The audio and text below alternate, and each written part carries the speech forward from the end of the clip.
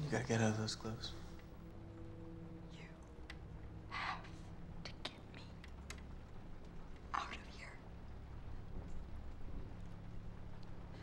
Look, nobody said this is gonna be easy.